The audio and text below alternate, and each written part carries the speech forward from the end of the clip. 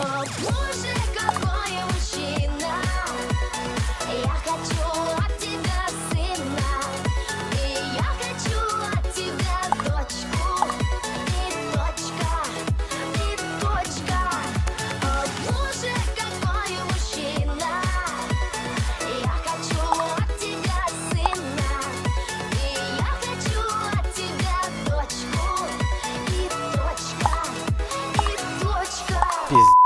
Capibara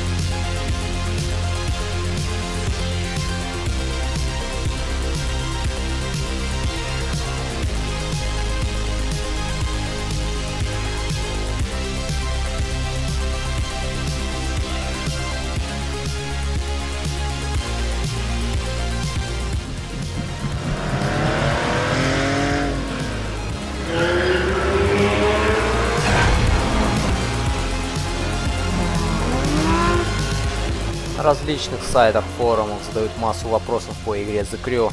Вопросы встречаются как дурные, так и более-менее серьезные. Постараемся вместе ответить на все. Да и к тому же у самого есть пару непонятных моментов по игре. Но хватит слов, давайте разводить туман в мире The Crew. Одним из самых часто задаваемых вопросов является вопрос о приобретении игры или же ее скачивании. Скажу вам раз и навсегда, Скачать игру на халяву не получится, нужно покупать только ключик и так далее. Так как эта игра полностью онлайновая. В текущее время есть две версии данной игры, обычная и Gold версия. Также есть и Limited Edition, это то же самое, что и предзаказ. После прохождения пролога, это пока вы не купите свою первую машину, вы получите на халяву уже в своем гараже три авто. Это Mini Cooper, BMW Z4 и Dodge Ram. Правда, все эти три машины можно модернизировать только в одно направление, в один класс, о котором я расскажу в следующем видео. Для первой версии есть дополнение DLC. Называется оно, как обычно у Ubisoft, Season Pass. Так вот, формула проста. Gold версия это есть обычная версия плюс Season Pass. Естественно, при покупке сразу версии Gold вы сэкономите пару сотен рублей. Так, в данной линейке видео попытаюсь рассказать вам о тонкостях игры, что да как пройти на золото, на платину, о секретах и прочую ерунду. Но для начала немного нудной информации. Так, с первого видео давайте начнем просто о рассказе и самой игры. Что, о чем и зачем она нам нужна. Ну что ж, поехали! Итак, The Crew Онлайн-видеоигра в жанре автосимулятор, разработанная Ivory Tower совместно с конторой Ubisoft во Франции. Перед нами некое подобие NFS Award. Такая вот ММО-гоночка. 13 августа 2014 года было объявлено о выходе на Xbox 360. 2 декабря игра уже и поступила в продажу. И также для Xbox One, PlayStation 4 и платформы PC. Стоит упомянуть, что игру переносили несколько раз, многие людишки ждали ее уже 22 ноября. Но Ubisoft, как всем известно, любит потянуть. Видимо, что-то хотели пофиксить еще. Только игру не так и не пофиксили. Тут до сих пор со времен бетки очень много багов, глюков и прочей неопознанной фигни. Вкратце о геймплее. Как говорит Википедия, одиночная игра включает в себя 20-часовую кампанию. 20-часовую кампанию? Да ничего подобного. Все, что есть именно в сюжетной части, можно пройти менее чем за 10 часов. Это уж я точно говорю. Миссии можно проходить одному, с друзьями, даже с врагами. Даже при прохождении одиночной кампании игра требует подключения к интернету. Многопользовательский режим позволит игрокам создавать собственные команды для выполнения онлайн-гонок и других различных задач. Ключевой особенностью игры является открытый мир, в качестве которого использована несколько упрощенная цифровая модель США. Главный операционный директор студии Ivory Tower рассказал, что общая протяженность дорог в игре составляет 10 тысяч километров. Но мне что-то тут не верится. В любых заданиях есть список рекордсменов, вся наша статистика сохраняется на сервере. То есть посоревноваться всегда будет с кем. Игровой мир разделен на 5 областей, которые будут открываться по мере продвижения игрока. Открытие этих областей влечет за собой появление новых машин и новых возможностей. Перед нами есть Центральная Америка с большими городами Детройт и Чикаго, восточное побережье с городом Нью-Йорк и столица США Вашингтон. Юг. Юг славится городом Майами. Горные штаты с городом Лас-Вегас. Западное побережье с двумя городами Лос-Анджелес и Сан-Франциско. Также еще присутствует куча мелких городишек. Хочу признаться, что размеры мира меня действительно порадовали. Очень жаль, что нету конкретных названий улиц в городах, как это было в Burnout Paradise.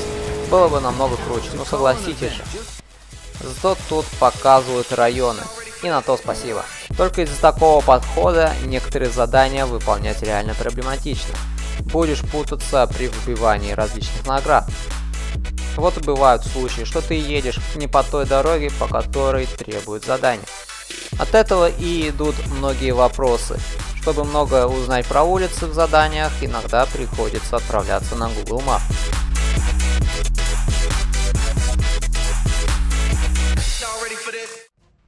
Итак, вернемся к геймплею. По мере прохождения, точнее сказать, прокачки самого себя, будут появляться новые авто. Пока их на деле не очень-то и много.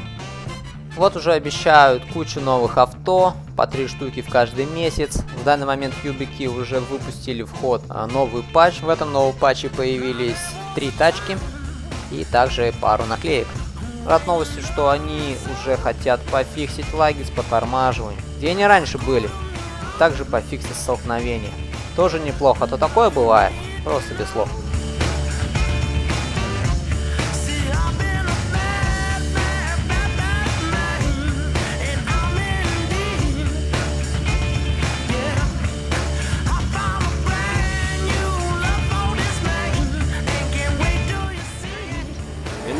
What am I looking for? Ride for some smuggling runs. I need to know what she can do. Push her to the limit.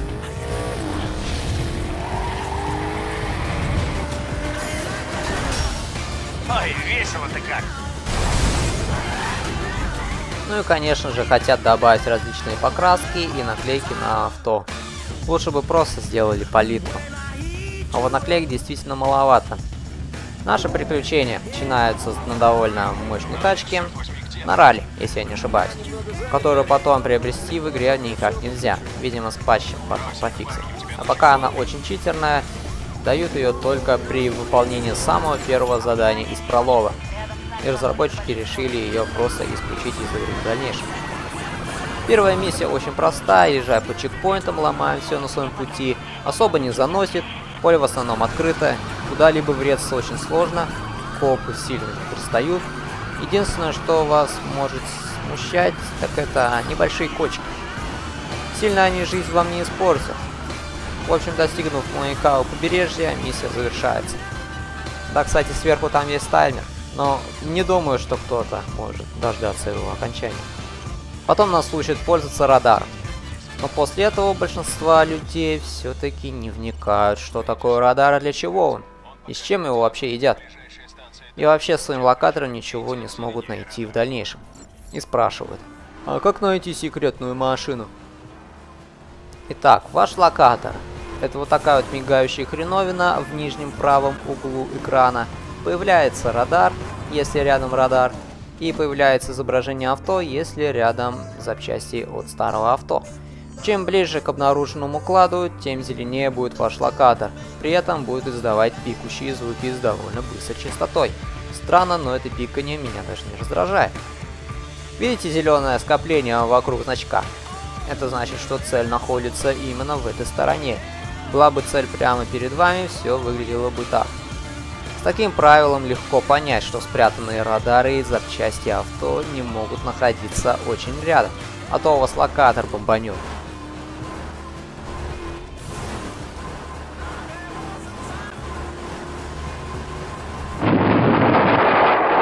По сюжету нам открывает карту, тут нас учат отмечать свой маршрут, ничего сложного тут нету, жмакаем мышкой или чем-то там еще, и вот вам маршрут.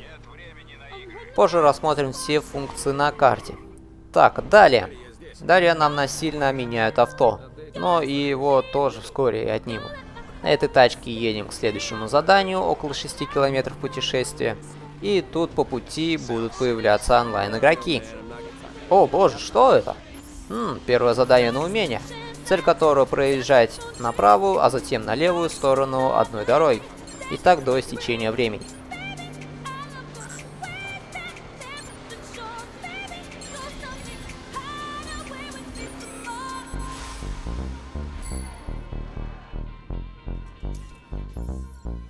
Фух, вот и приехали к заданию.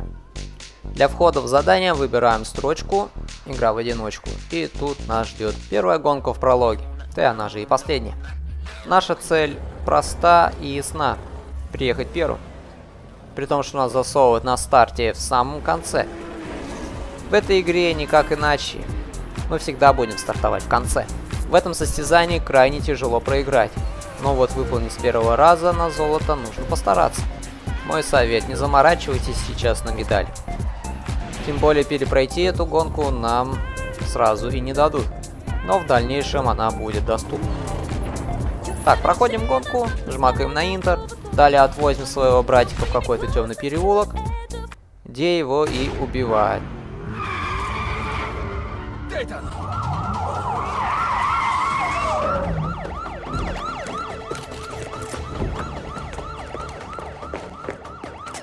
ФБР! Подними руки, живо!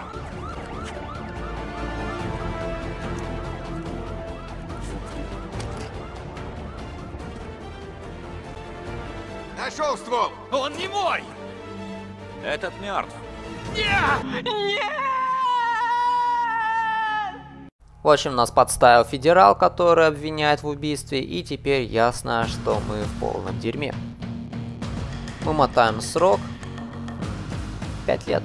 Пять лет прошло, а у нас все та же борода. Чудеса. После освобождения нас вовлекают в дело по поимке тех самых гадов, федерала Коберна и хулигана Бритву. На этом сильно спойлерить сюжет уж не буду. Мы можем снять все обвинения. Сказал, что я в деле. Сваливаем с этого места на лагающем такси. И вот он, вот он этот момент. Мы в автосалоне. Тут уже и дают различные плюшечки, и те самые три тачки уже будут доступны, когда пройдем пролог. Хм. В автосалоне можно осмотреть все авто, доску приобретенных машин, также можно запустить тест-драйв любой из доступной машины. В качестве первого авто я бы посоветовал вам Ford Nissan 370Z, ну и на крайний случай для особых любителей можно взять Chevrolet. Первая покупка авто абсолютно бесплатная, Зоя за нас всегда все выплатит, вот бы всем такую бабу. После покупки авто начинается заставка про класс стриткаров. Заходим в тюнинг стриткаров. Создаем из купленного железа стриткар. Для этого покупаем набор первого уровня. Сюда входят все 11 компонент, которые влияют на наши характеристики. И только выходим с тюнинга, как нас награждает двумя наградами, которые дают нам оранжевые очки. Позже про эти очки я еще вам расскажу. Что ж, добро пожаловать в свободный режим. Именно с этого момента у нас есть возможность прокатиться по всему миру, выполнять задания, прокачиваться и создавать группировки со своими друзьями. Но об этом уже в следующем видео. Все, всем спасибо за просмотр, всем пока-пока.